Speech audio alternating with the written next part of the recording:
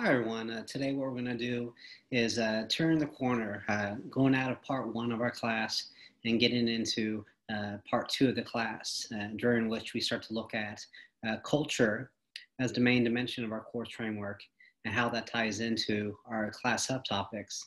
today, starting with the social construction reality.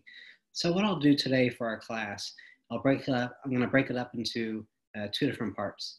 I break it up into an introduction to culture and social life. So just kind of talking about what culture is, uh, what it does. And then for the second part of our class, I'll create a new lecture and we'll specifically get into the Clark reading for today. And also we'll touch on the in-class assignment for today as well. So to begin,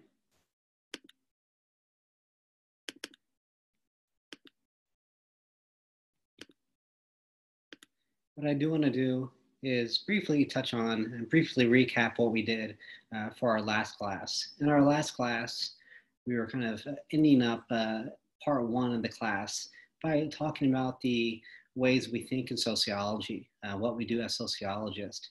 And this is captured in that sociological imagination. And so basically, we're trying to link the social world to the personal and recognize the back and forth between the two. And so I ask you to apply the sociological imagination in our first in-class assignment. So basically, we're looking at how what's going on in the public world is shaping private life, how what's going on in the history in which we live, how that's shaping our life story. So for the in-class assignment, you had to choose between either explaining why we listen to more types of music today compared to the past, or why we have more personal debt today compared to the past?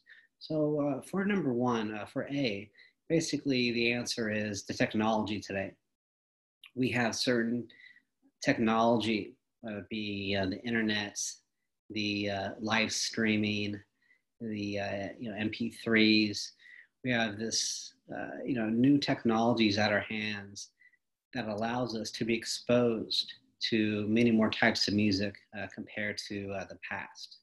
So, you know, some people may say, oh, there's more types of music today compared to the past. It's not about how many types of music there are, but it's more about the access to that. So, in the past, if you wanted to try out something new, listen to a new type of music, basically you'd have to go, you know, buy a record, buy a CD, and that costs, you know, money. But today, as long as you have kind of that internet connection, you can listen to a variety of types of music uh, for free and you can be exposed to it. And when you're exposed to it, you can develop that taste for it. In addition, you know, on our computers, you know, on uh, different phones, you have the ability to buy single songs. So maybe you're not buying an entire record of a certain genre, but you still listen to it because there's a few songs in it you like. So the key part today is the history in which we live consists of certain technologies that allows us to expand our musical taste uh, more so compared to the past. And so if you chose the uh, second option, the personal debt, well, you know, basically, you know, today what you see, wages have stagnated uh, since the early 1970s. In other words, in terms of real money, how much a dollar actually gets you, a dollar gets you as much today as it did in the early 1970s. The rub to that is prices have gone up. So, you know, what we pay for on a daily basis, the food we eat, uh, the clothing we wear, the you know, gas we use to put in the car, the utility bills we pay to you know, keep the lights on, uh, the tuition money that we uh, use for college, you know, all that has gone up dramatically in some cases.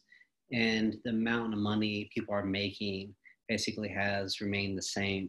So when stuff costs more, but you're not making enough money to bridge that gap, what you do is often you use credit, you use, you know, what I like to call kind of fake money, you know, money you really don't have.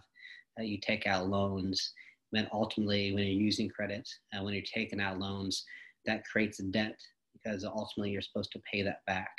So it's not because, you know, we're born a certain way uh, that we listen to more types of music compared to perhaps you know our parents. It's not because uh, we're bad with money, uh, irresponsible.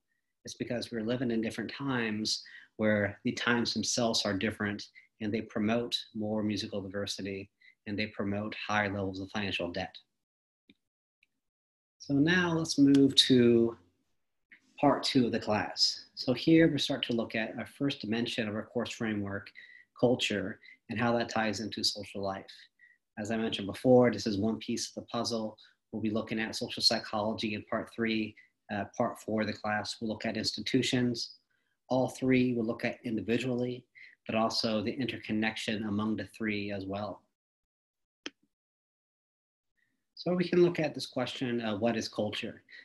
I often say culture is a word that we hear, that we use, but if somebody really asks us to define it specifically, uh, sometimes we struggle with coming up with such a definition. So we can think of culture as basically norms, uh, values, expectations, uh, symbols, uh, languages, and material goods that make up a society. We can say that every society has a culture. So every society, you find norms that people follow. You know, what you're uh, supposed to do, what you're not supposed to do. every culture has values you know what people embrace what they endorse every culture has uh, symbols you know different things that are recognized in a certain way. Uh, we all have languages both uh, verbal and non-verbal languages. And we all have different material goods basically you know things that we use in the social world. Every culture has these things but in every uh, society the culture will differ. You speak different languages you recognize different symbols you follow different norms, you have different values, use different types of uh, technologies. And so when you share a culture with somebody, whether it be on a regional basis or a nationwide basis, that culture creates similarity. You know, so Americans are going to be more similar than different when compared to other societies in which those societies have different cultures. They speak different languages and they uh, dress differently in terms of you know material goods that exist. And so we can say that culture creates similarities when you share a culture, but it also creates differences when you don't share a culture.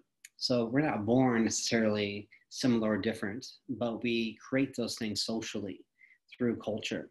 So you know people in Mexico are not born you know speaking one language or another. They learn so through their culture. And up to our north, you know, some Canadians aren't born speaking French, uh, but they learn that language through their culture.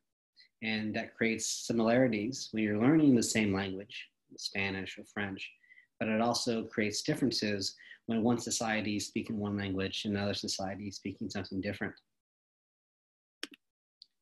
So we can look at how culture operates as a strong social force. And here we go back to the idea of the social structure. The social structure is anything larger than, it, than the individual. And as a social structure, it can influence kind of what we do and why we do it.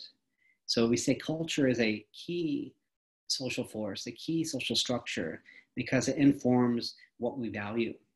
So again, it's not magic or it's not uh, natural that most people in America share values with one another we have that reality here um, because we're all socialized to learn and adapt the same values.